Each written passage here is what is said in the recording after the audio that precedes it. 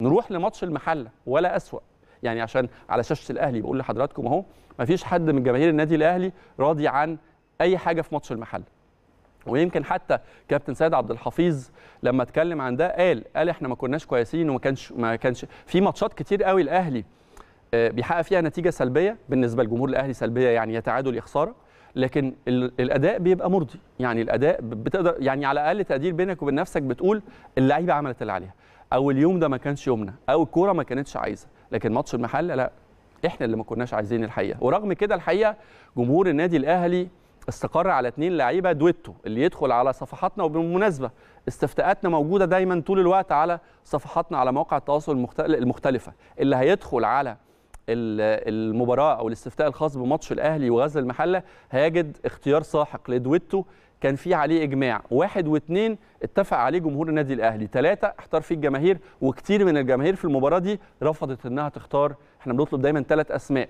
في كتير من الجماهير رفضت في المباراة دي تحديدا إنها تختار اسم ثالث وشافت إنه عدد أو اللعيبة بتاعت النادي الأهلي ما أجادوش في المباراة ومفيش حد يستحق حتى مركز ثالث لكن طبعا مركز ثالث حسب رقميا وحسم طبعا لصالح أحد اللاعبين. خليني أقول لحضراتكم ترتيب اللاعبين في مباراة غزل المحلة الأهلي وغزل المحلة كان في المركز الأول ديانج. اللي خليني أقول لكم إنه مستواه في تصاعد مستمر وربنا يا رب يحميه ويحافظ عليه. محتاجينه جدا جدا جدا في مشوارنا اللي جاي.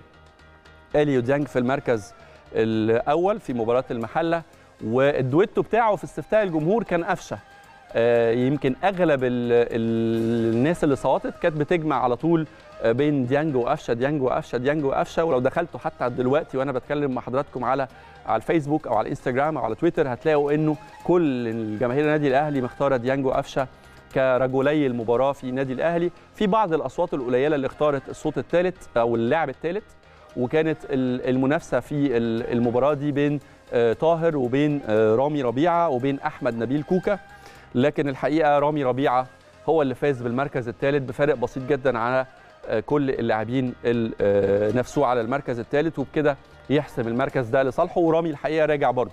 رامي من اللعيبة اللي من ساعة ما خد فرصة الحقيقة أثبت إنه بيقدم مستوى كويس جدا. وواحد من اللعيبة اللي أنا برضه بشوف دايما إنه لعيب عنده شخصية النادي الأهلي وعنده روح النادي الأهلي وإن شاء الله يكون إضافة للفريق في الفترة اللي جاية.